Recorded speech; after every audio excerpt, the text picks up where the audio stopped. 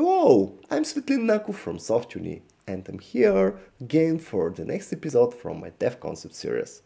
In this lesson, you will become familiar with the concept of templating engines, which render input data into output documents like HTML through a template.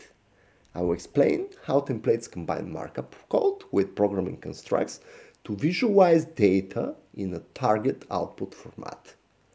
Along with the slides, at the end of the lesson, I have included a live code example so you can see how we can render an HTML-based UI with a templating engine.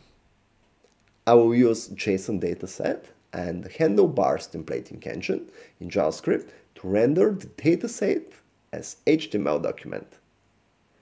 Do you enjoy this video? If you do, make sure to like it because it helps us a lot in reaching more people like you who are passionate about programming. Alright, let's get right into the concept of templating engines. The next development concept from both front-end and back-end development is the concept of templating engines. Templating engines render data as HTML or other format through a template. This is very useful when you want to visualize data which comes from the server side or from a database. The template is written in some templating language like Razor, uh, Handlebars or Pug. This is how it may look like. Typically, templates combine HTML with special tags. Templates can render variables, iterate over a collection, uh, or perform conditional checks. For example, we can write a template to render a list of students as it is shown here. Data for rendering comes as object, JSON string or other format. It typically is retrieved from the backend or from a database. In this example, a JSON object holds a list of students, uh, names and years of graduation. The rendered output could be HTML or other document. In our example, the output is an HTML uh, list of students. Templating and templating engines are important concept in programming. It is part of most web development frameworks, both front-end and back-end. Templating is used to generate documents, reports, or print data in certain format. You will definitely use templating engines in some form if you work with data and visualization. We shall learn and practice working with templating engines during the web front-end and back-end development modules at Softuni. This is a simple live example of rendering UI with the templating engine.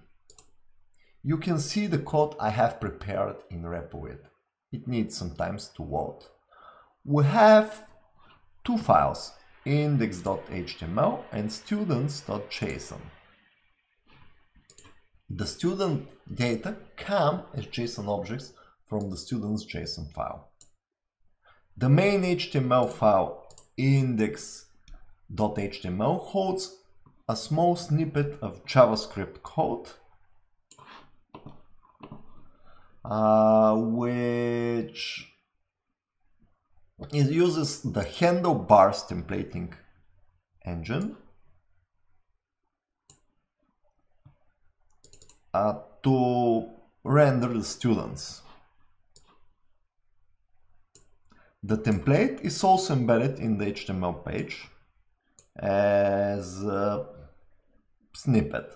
When we run the code, uh, we see the students rendered as HTML bullet list. The technical details about the code are not important here. Important is the concepts of templating engine, which render data by template as HTML or other format. This approach is widely used in software development. You will definitely use it someday if you become a software developer. Did you like this lesson? Do you want more? Join the learners community at softuni.org. Subscribe to my YouTube channel to get more free video tutorials on coding, dev concepts and software development. Get access to more free dev lessons and learning resources for developers get free help from mentors, and meet other learners. And it's all free, so join now, softuni.org.